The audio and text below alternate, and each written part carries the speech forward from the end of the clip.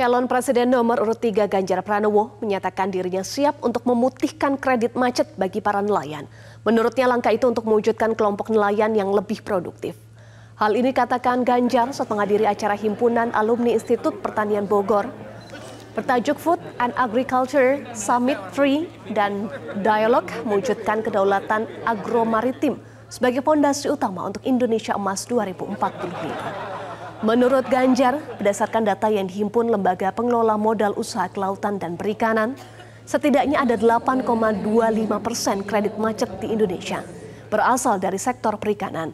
Maka menurutnya sangat mungkin kredit nelayan yang macet direview dan karena kondisi situasi eksternal yang membuat macet akan dihapuskan. Macet kira-kira sekitar 186 miliar penghapusan kredit nelayan pemberian kredit nelayan? Iya, tidak terlalu banyak, maka sangat mungkin kalau kredit nelayan yang macet itu kita review dan kemudian karena situasi kondisi eksternal yang membuat dia macet, kita hapuskan saja. Kalau itu bisa dihapuskan, mereka akan enteng terus kita bina mereka, didampingi. Jelajahi cara baru mendapatkan informasi. Download Metro TV Extend sekarang.